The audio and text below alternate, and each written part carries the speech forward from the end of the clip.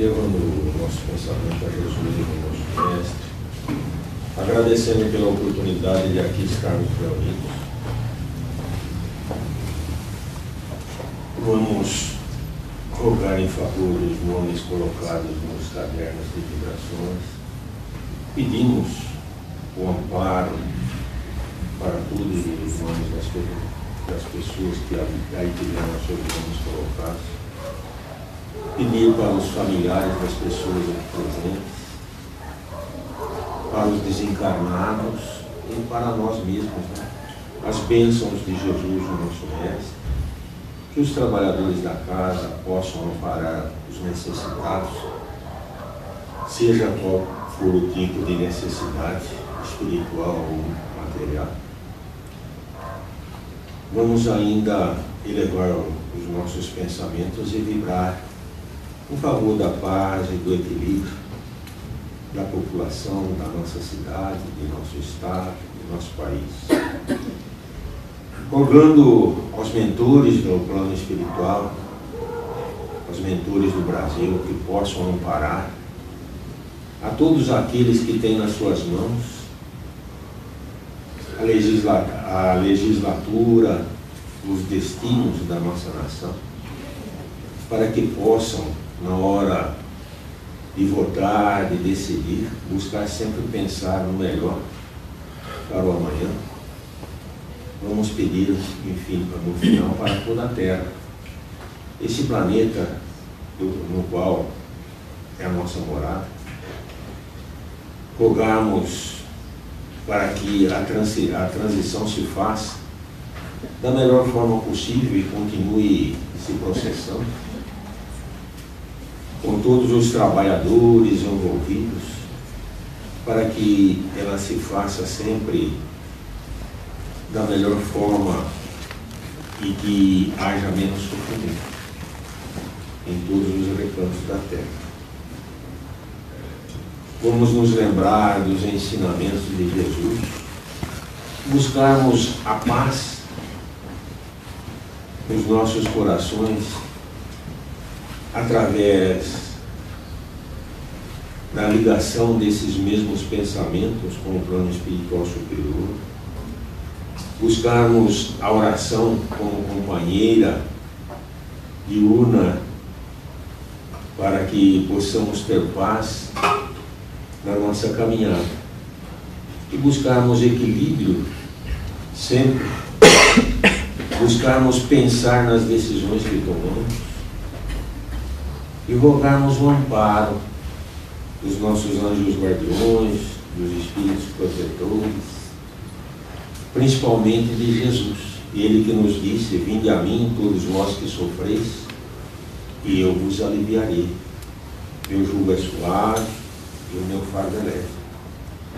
Vamos confiar em Jesus como um amigo, aquele amigo que tem muito mais conhecimento, muito mais poder, que a, a, a nossa pequenez é tão grande dentro, diante de sua compreensão e de seu amor, que nós nem conseguimos fazer ideia de quanto que é grande.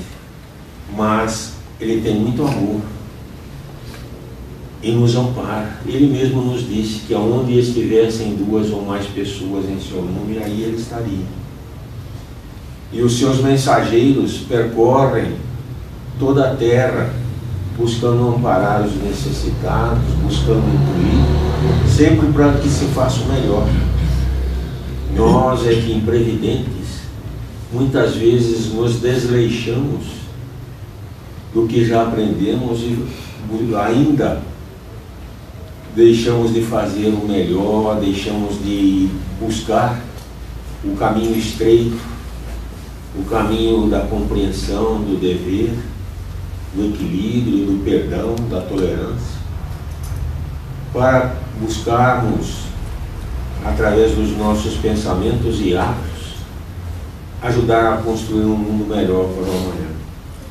Rogando a Deus, nosso Pai, que abençoe a todos nós, encarnados e desencarnados. Damos por aberto os trabalhos da noite. Antes de iniciarmos a leitura, temos um aviso aqui a respeito de pizza congelada a 10 reais para quem quiser só procurar na saída lá na, na parte de cima. No Evangelho, capítulo 16, não se pode servir a Deus e a mamão. O item 1 e 2, salvação dos ricos. Ninguém pode servir a dois senhores, porque ou ele aborrecerá a um e amará ao outro, ou se afeiçoará a um e desprezará ao outro. Não podeis servir ao mesmo tempo a Deus e a mamão. Então um jovem se aproximou de Jesus e disse: Bom mestre, o que é preciso para fazer? Que é preciso fazer para alcançar a vida eterna? Jesus lhe respondeu: Por que me chamais de bom? Só Deus é bom. Se quereis entrar na vida, guardai os mandamentos. Que mandamentos? perguntou-lhe. Jesus lhe respondeu: Não matareis, não cometereis adultério, não roubareis, não direis falso testemunho, honrai vosso pai e vossa mãe, e amai ao vosso próximo como a vós mesmos. O jovem respondeu, respondeu Guardei todos esses mandamentos desde minha juventude. O que ainda me falta? Jesus lhe disse: Se quiserdes ser perfeito, ide e vendei o que tendes e dai-o aos pobres, e tereis um tesouro no, no céu. Depois vinde e segui-me. No livro dos Espíritos, a respeito, no capítulo 3, a respeito do assunto separação da alma e do corpo, pergunta 154. O corpo ou a alma sente alguma dor no momento da morte? Resposta: Não. O corpo sofre muitas vezes mais durante a vida do que no momento da morte a alma não toma nenhuma parte nisso. Os sofrimentos que às vezes ocorrem no momento da morte são uma alegria para o espírito que vê chegar ao fim do seu exílio. Passamos a palavra ao nosso maestro para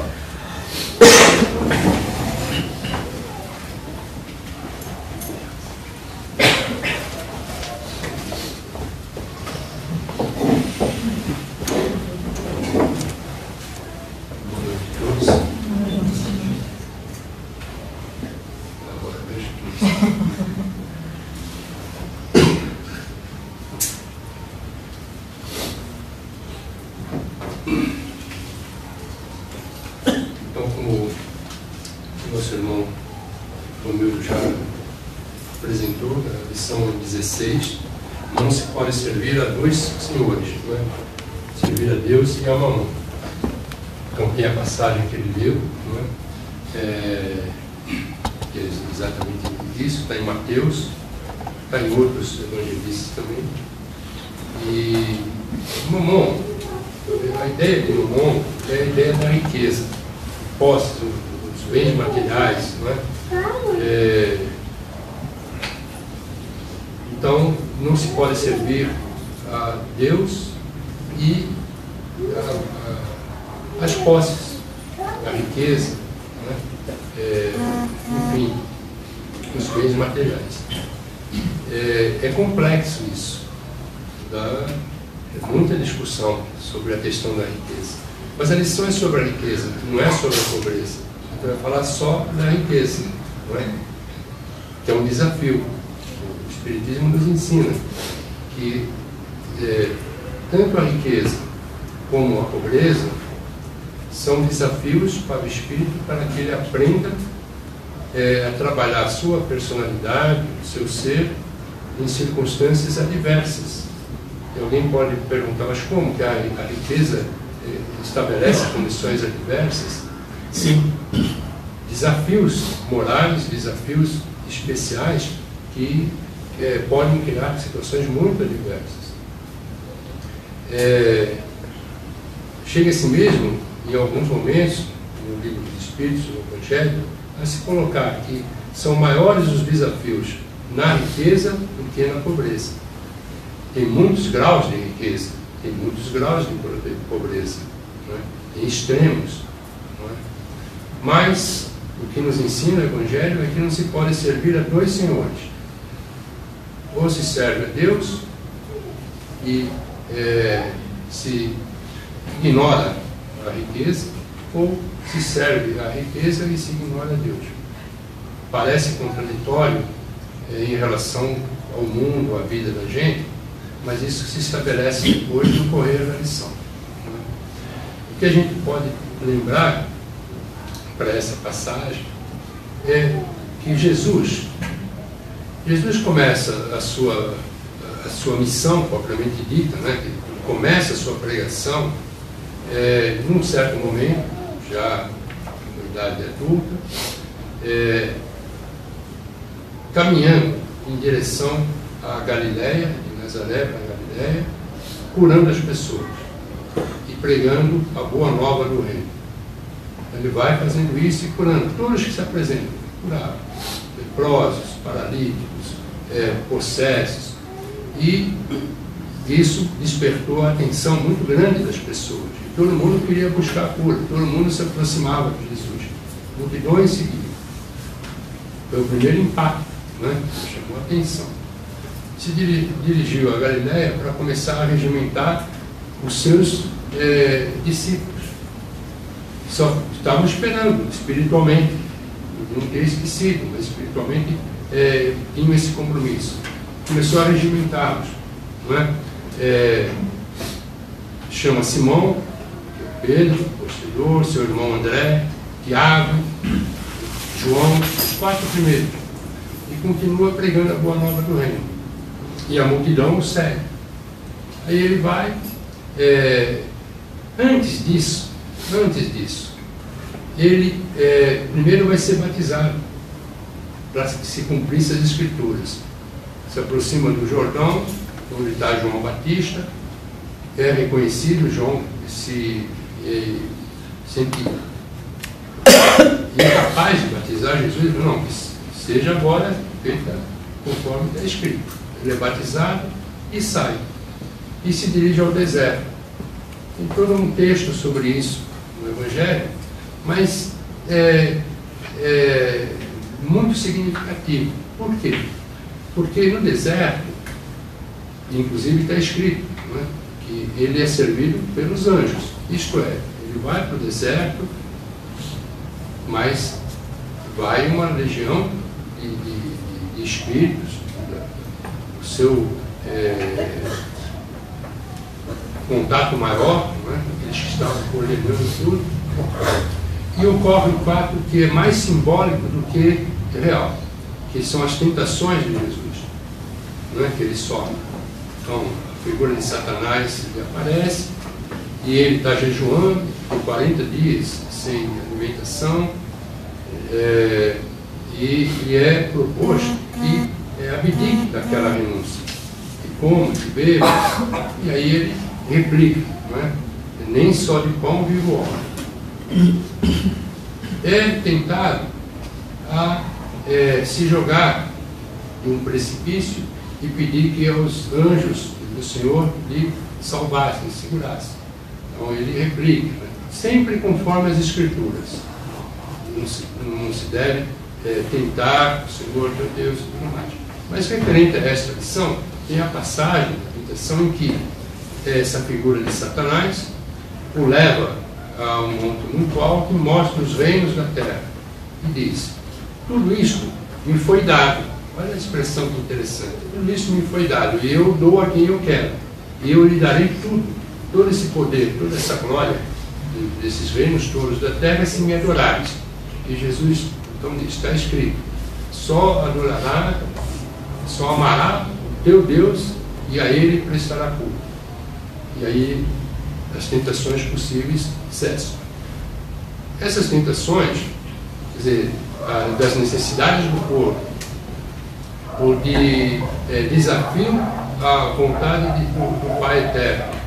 E a tentação das riquezas, É lógico que ele não foi tentado a nada disso. Ninguém teria condição de tentar Jesus da coisa alguma. Mas tem um valor simbólico para o que iria vir.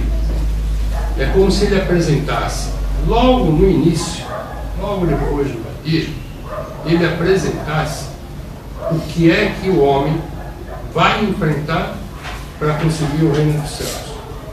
Porque o passo seguinte é as bem-aventuranças. Quando ele sobe a uma elevação do terreno, a multidão é, atenta, ouvindo, e ele é, proclama, declama as bem-aventuranças. Então aí ele diz que as conquistas que devem ser feitas para se alcançar o reino dos céus. E depois, então, tem a jornada toda onde ele vai exemplificar e ensinar.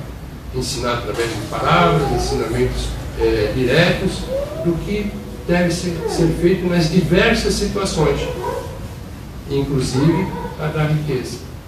Então, mas já foi dito logo no início é? da é, tentação da riqueza, do poder. É, então aí já se estabelece não se serve a dois senhores, amará teu Deus com toda a tua força e só Ele adorarás. É, então, vem essa passagem no Evangelho segundo o Espiritismo, para ilustrar esse conteúdo, é colocado diversas passagens, diversas palavras, ensinamentos de Jesus, todas relacionadas a essa temática.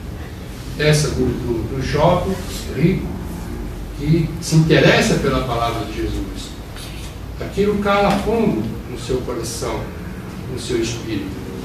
Ele é, aguardava por essa informação, se vê é, comovido, se aproxima de Jesus com toda a sinceridade do seu espírito. Ele quer realmente é, aprender mais, quer mudar as coisas da sua vida. É uma pessoa séria. Por quê? Porque aquilo que a lei determina, a lei moral, os dez mandamentos, ele já seguia. Não é?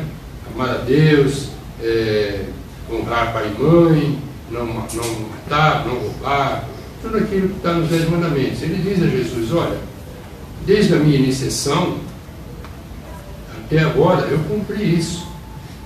O que eu preciso fazer então para lhe seguir? E Jesus diz, olha, venda as tuas coisas, entregue aos pobres, você com isso já está com um tesouro nos céus e me siga. E aí ele fraqueja, ele pensa, puxa, como que vou me desfazer de tudo que eu tenho, de todas as minhas posses, e vou seguir? Provavelmente isso ficou marcado no seu espírito profundamente, pelo resto da sua vida espiritual. É, não é fácil. Alguns conseguem fazer isso, mas os que fazem isso são muito ricos, muito ricos, de amor são aqueles que têm tesouros muito grandes no céu. São especiais. E vêm para exemplificar mesmo. Exemplificar esse ensinamento de Jesus. Acho que o exemplo mais gritante, o exemplo mais marcante é o de Francisco de Assis. Francisco de Assis, ainda jovem, é, movido pela, pelas palavras do Evangelho, sensibilizado pelo ensinamento de Jesus, já com uma tarefa a ser cumprida, já estabelecida no plano espiritual, com os amigos que renasceram é, na mesma localidade, na mesma época, e abdica da riqueza, do conforto, do status social, abdica de tudo e vai viver como um mendicante. Pedir comida, alimento, e vai se dedicar integralmente de corpo e alma aos sofredores. Se aproxima dos doentes, dos necessitados, e ali, junto com seus amigos, exerce o que o jovem da, da, da passagem do Evangelho não consegue fazer. Ao fazer isso, ele marca a história do cristianismo para sempre. Por quê? Porque, primeiro, ele, o número de adeptos do movimento de Francisco no mundo europeu foi enorme. Em poucos anos, é, legiões de jovens, principalmente jovens, abdicavam das riquezas, do status, para exercer o processo de ir aos pobres, os humildes, sem posses, é, humildemente. Muitos, muitos, muitos. Então foi um impacto. Mas até os dias de hoje, 500 anos mais, né, 1200 e pouco, então 800 anos depois, nós todos, é, cristãos e não cristãos, nos impressionamos com o exemplo de Francisco.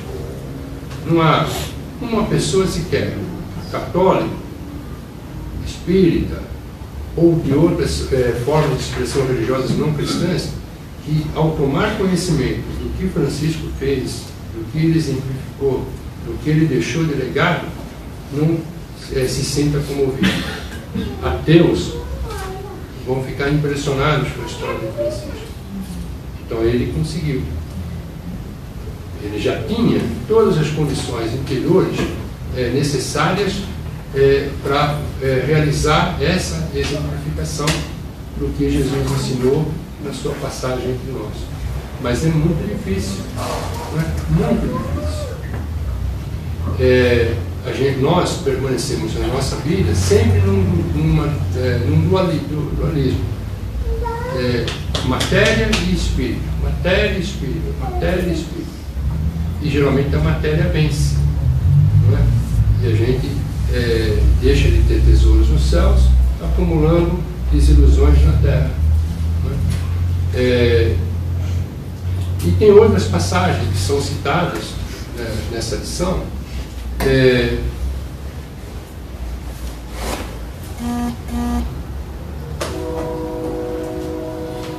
a passagem do homem rico é, judeu, hebreu, seguia todas as tradições religiosas, culto, a ida ao templo, e muito rico. Vivia na sua mansão, é, e a sua porta sempre estava ali uma pessoa sem posses nenhuma, necessitado, e ficava aguardando que alguma coisa sobrasse da casa daquele homem rico que lhe pudesse servir de, de, de eh, mantimento, de alimento. É? E assim permanece o homem rico ignorando aquele que estava à sua porta. O tempo passa, o pobre, de nome Lázaro, desencarna. Desencarna e vai é, para um mundo é, mais é, elevado, vai para um plano superior da vida. Que no caso do Evangelho diz, vai para o seio de Abraão. O rico, ao seu tempo, também desencarna e se vê surpreendido no inferno, no inferno de aflições.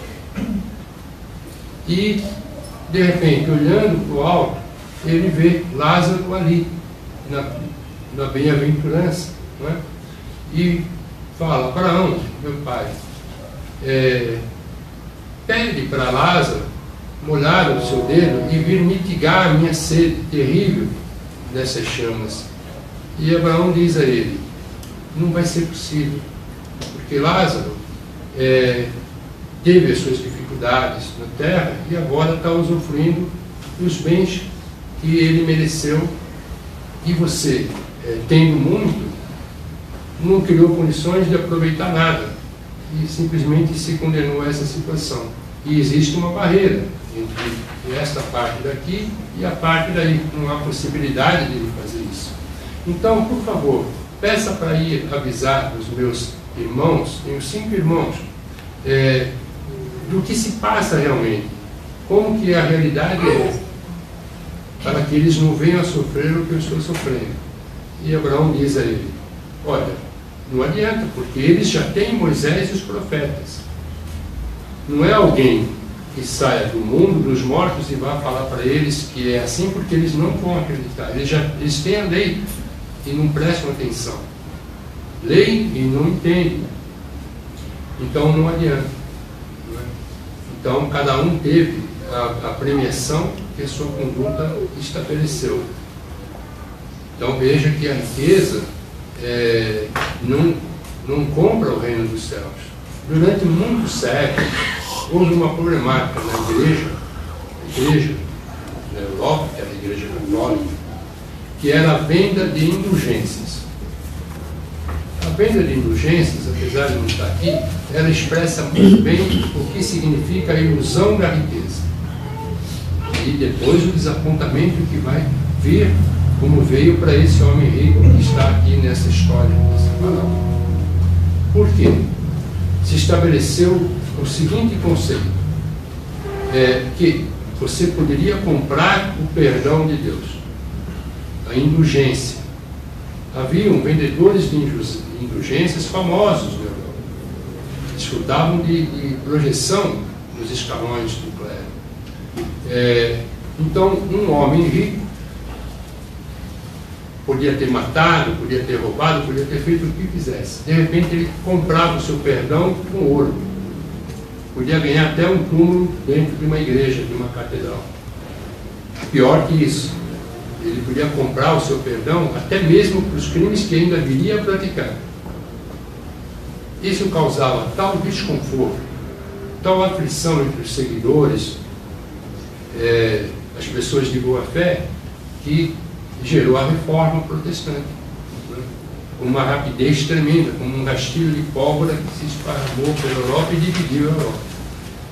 Então veja que ponto chega a ilusão da riqueza, você poder comprar perdão de Deus, por pior que tenha sido a sua conduta, ou seja, a sua conduta. É, algo parecido ocorre com este homem rico e o Lázaro pobre a sua porta.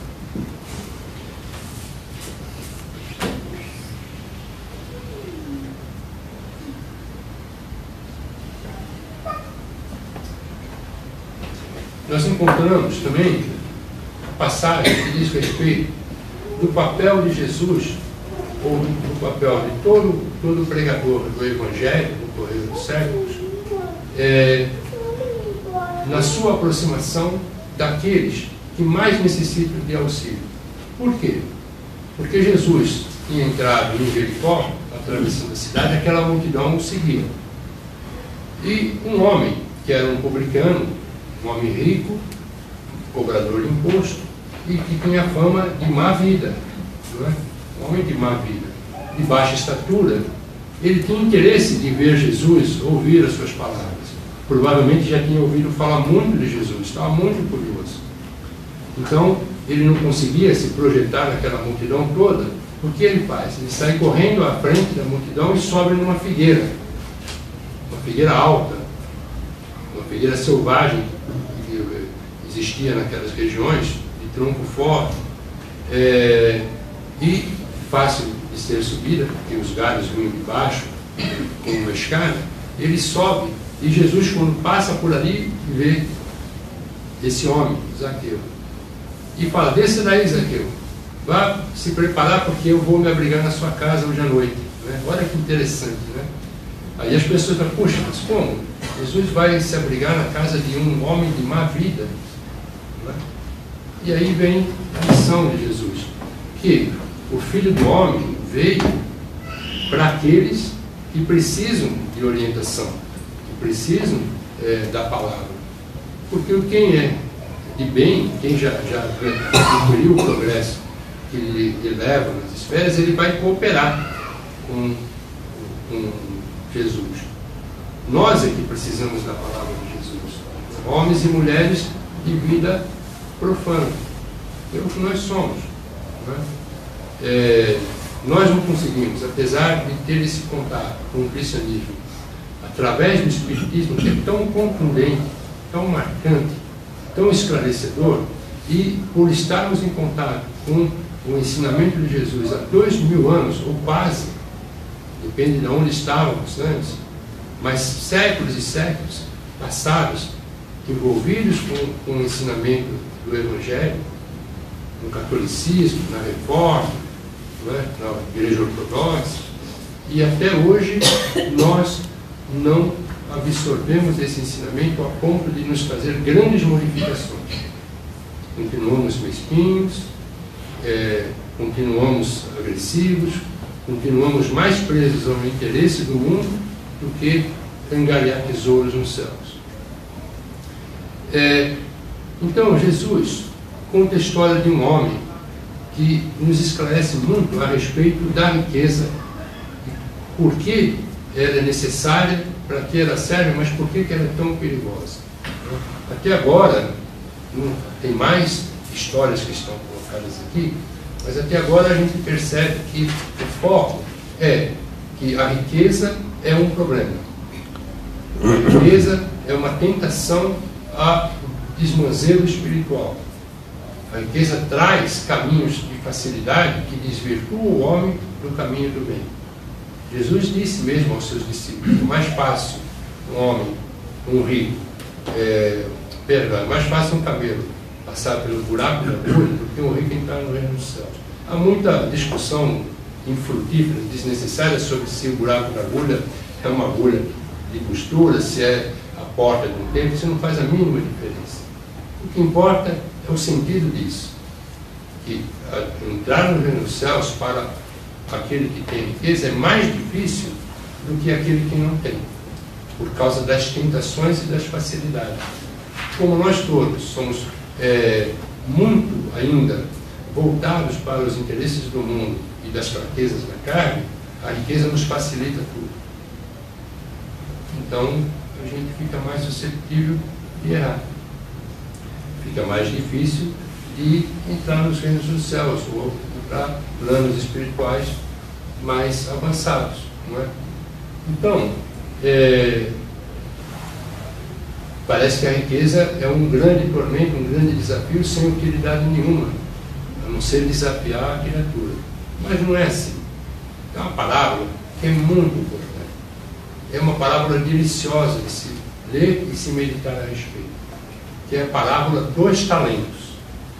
A parábola dos talentos diz assim: é, um senhor é, tinha que realizar uma viagem e ia passar um bom tempo fora de suas propriedades.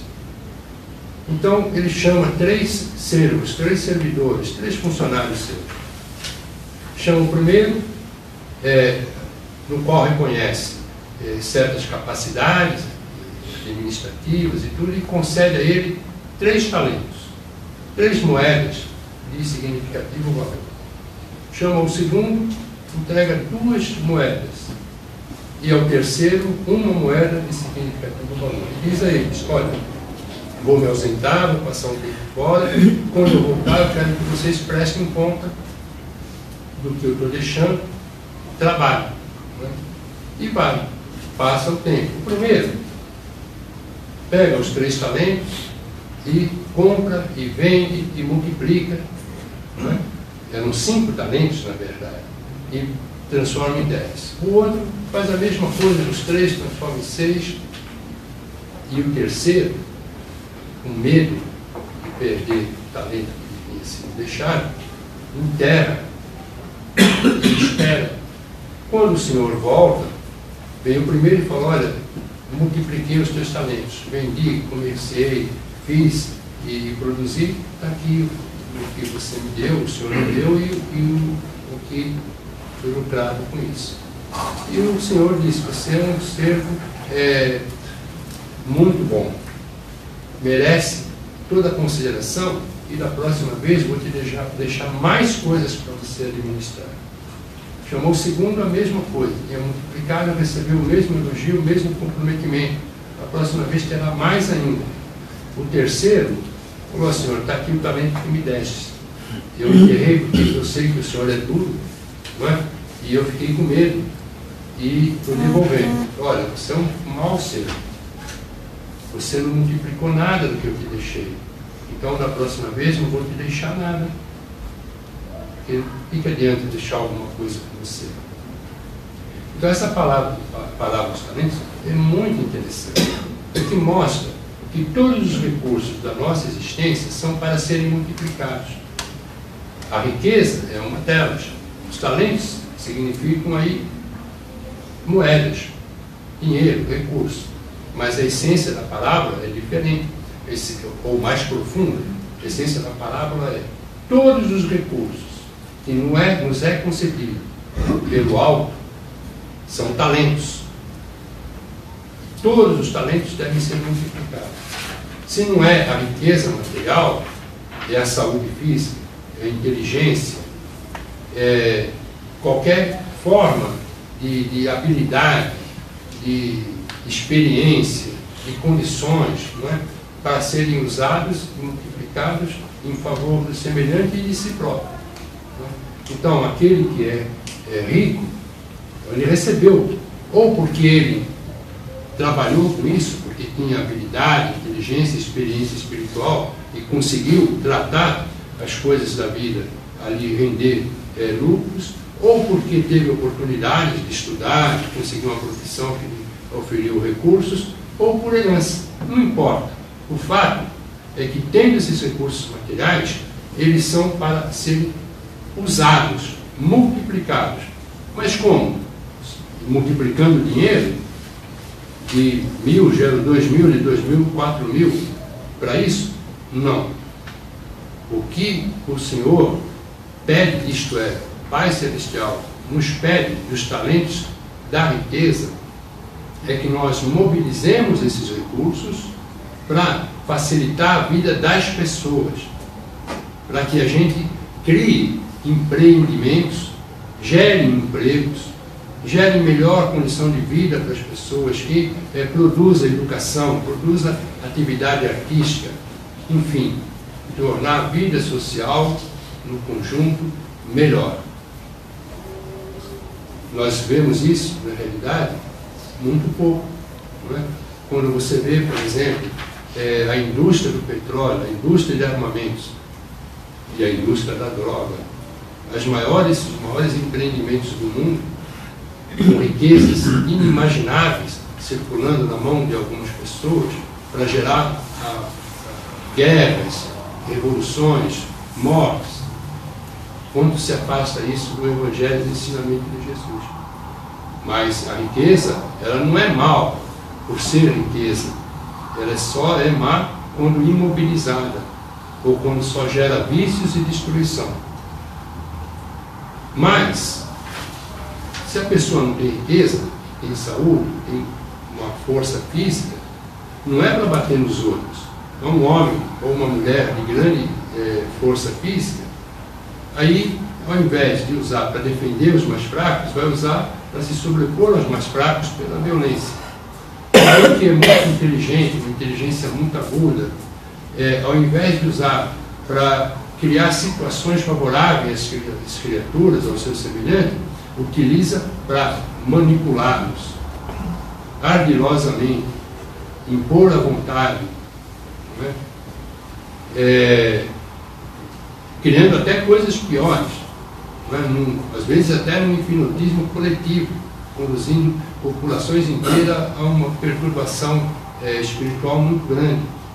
Não é possível que um povo tão educado, tão articulado, tão experiente como aqueles que viveram na Alemanha durante a primeira, a primeira metade do século XX os, é, pudessem ter produzido a destruição que produziram não eram ignorantes, não eram é, inexperientes. Espíritos muito antigos, muito experientes, e entraram num processo coletivo de é, hipnose, aceitando o que alguns, é, muito perturbados, impuseram. O medo fez parte desse processo. O medo também é uma coisa muito terrível. Mas a saúde, a força física, a educação que recebemos, a capacidade intelectual, a, a habilidades, é? habilidade artística, habilidade é, profissional nas mais diversas áreas, nos mais diversos setores, são para serem é, usados para beneficiar o próximo. Vejam aqui na Casa do Caminho. As pessoas não sabem, vêm aqui, porque a maior parte não pode vir aqui todos os dias, viu? quando pode, ela parece que passa. Mas passa, passa aqui pela entrada, logo que atravessa o portão, tem um pequeno jardim, com rosas, e na época que brotam são lindíssimas. E o perfume, e vem por esse corredor, e vem na parede ali, aquelas plantinhas todas tão lindas. Mal sabem que é uma pessoa que cuida disso, que não precisaria estar fazendo isso. Percebe? Sai do conforto da sua casa todos os dias praticamente, vem aqui, rega, corta, aduba, prepara. O que, que acontece com isso? Alegra a nossa noite. Favorece o nosso estado espiritual como aqui comparecemos para estudar o Evangelho. Então, olha o que é, é multiplicar talentos. Percebe? Então, é, a riqueza não é má por si só. Ela é má na medida em que o homem dela faz é, mau uso, gerando destruição e perturbação. Mas não quando ela é utilizada para criar situações melhores, porque a medicina avançou, porque teve tecnologia criada com riquezas, o comércio, né, as ciências, as artes, tudo. Né? É, então, o Espiritismo não condena a riqueza, o Evangelho não condena a riqueza, mas a palavra dos talentos coloca muito claro o que deve ser feito com a riqueza e com todos os recursos que temos. Pois bem, é, um dia, uma sobrinha, já adulta, moça, interessada no Espiritismo, lia muito, muita, muitas, muitos romances, muitas obras. Até levava não era aqui desse estado, quando dava para o correio, a, o clube do livro não dava para ela. Um dia conversando, ela veio visitar aqui, aqui é, falou, você não frequenta, você não vai nada. Eu gosto de ler, mas eu não gosto do espiritismo, porque ele prega o sofrimento, ele enaltece a miséria e o sofrimento. Aí eu fiquei abismado. Eu falei, puxa vida, mas é justamente o oposto o Espiritismo não enaltece sofrimento e miséria. Muito pelo contrário. Muito pelo contrário. Ele não propõe que as pessoas adoeçam para é, ganhar o reino dos céus. Nem que passem fome, nem que passem necessidade. Não é isso. O Espiritismo propõe é, o entendimento necessário das dificuldades, dos propósitos da nossa existência, dos nossos compromissos, para justamente sermos felizes. Só que alcançando o ponto mais é, importante dessa história toda, que é o nosso espírito. O Espiritismo não propõe que ninguém abdique de conforto. Sim, que as pessoas trabalhem para ter conforto, sem é, prejudicar o semelhante, sem causar transtorno ao outro, e usando os excedentes dos seus recursos para servir ao próximo. Não pede que todos nós sejamos Franciscos Assis. Haverá um dia em alguma parte do universo onde exemplificaremos como Francisco. Sabe-se lá quando. Mas agora, no, no patamar que nos encontramos, é só isso que é pedido. Que os excedentes da nossa atividade sirvam aos outros. É? De alguma forma. Mas que todo mundo trabalhe, crie, se interesse, é, se discipline para conseguir conforto na vida. o Espiritismo não propõe que ninguém fique doente, não. Tanto que aqui no atendimento, quem já frequentou sabe muito bem, que qualquer trabalhador da casa é, faz isso, explica. Olha, você está doente, você vai vir aqui, buscar auxílio, tratamento, mas Vá ao médico. Qual é o seu problema? Procure o médico. Antes de qualquer coisa. Do gasto, do neurologista, seja lá o que for. Procure o médico. Um psicólogo, um psiquiatra. Porque é necessário usar a atividade do profissional preparado para nos cuidar fisicamente, para que a gente saiba, se assim for, dos desígnios de Deus no roteiro da nossa vida e o amparo espiritual, porque nós necessitamos também de amparo espiritual para ter a cura do corpo também. Nós somos espírito, perispírito e corpo de carne. O problema começa no desequilíbrio espiritual. Nós comparecemos aqui, a instituição espírita, como católicos vão na igreja e outras é, é, modalidades religiosas, em busca do equilíbrio espiritual para que possamos desfrutar a saúde no corpo. Está tudo interligado. Então, qual é o objetivo aqui em relação à saúde? ensinar o Evangelho e a prece como as ferramentas mais importantes para reequilibrarmos espiritualmente, porque depois tudo vem na sequência. Quando temos compromissos muito sérios com o passado, como nós todos temos, e as aflições físicas vêm, então o que é que se propõe? Procure todo o tratamento possível. Tratamento médico, tratamento psicológico, tratamento espiritual. Mas procure o Evangelho. Estude, medite. Porque usado todos os recursos disponíveis ou que a criatura pode dispor conforme a sua situação eh, na vida social, ela não pode se revoltar contra Deus. Porque aí as suas aflições seriam estendidas para reencarnações posteriores. Então, olha, fa façamos para que se melhore a saúde física e espiritual. No que é possível. Se a nossa, os nossos compromissos exigem certas situações, não nos revoltamos. Tenhamos clareza de que aquele processo nos conduz à libertação. Foi lido e comentado pelo Romeu. É, a morte é menos dolorosa para o espírito, a rigor, não, não precisaria sentir nada se tivesse realmente desprendido da matéria, no sentido é, espiritual do termo, né? é, do que quando em vida. E como ele disse, é, no processo da morte, enquanto só o corpo ali é, tem as suas convulsões, os seus estertores, o espírito sente até um certo alívio, por estar se libertando daquilo que o prende àquela situação para galgar uma liberdade espiritual, uma espiritual. Mas veja que até para isso ocorrer é necessário que a gente abdique de talentos ou talentos. Se nós ficarmos presos à carne, ao corpo, e não desejarmos sair do corpo e da carne, porque aquilo é, é, resume tudo para nós, aí nós vamos sofrer. Não porque o espírito sente dor, mas porque psicologicamente, psiquicamente, a gente vai é, criar condições de dor e sofrimento desnecessárias. Né? Então, é, veja bem, todos os nossos talentos são riquezas.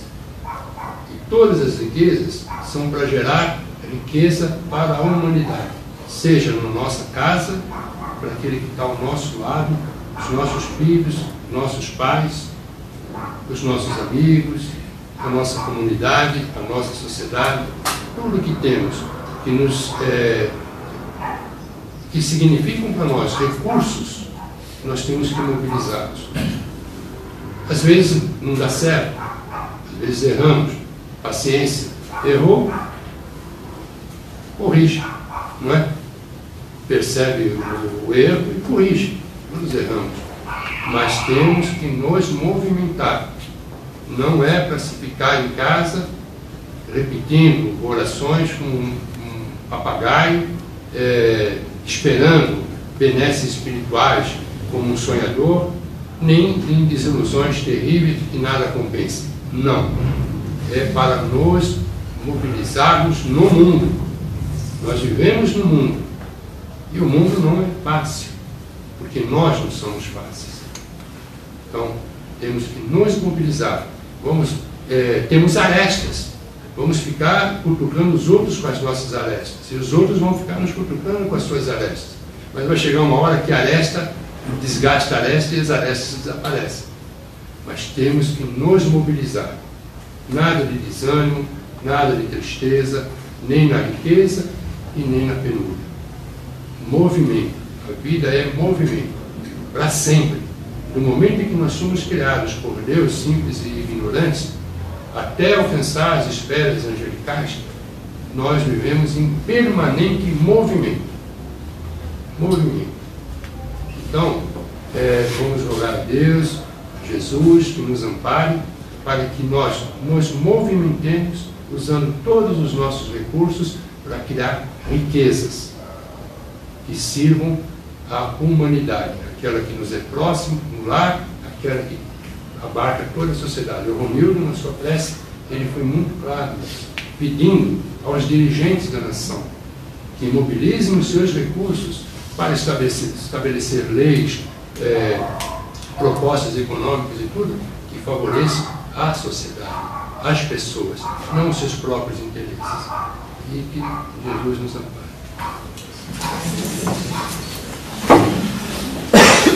Passamos agora aos passes.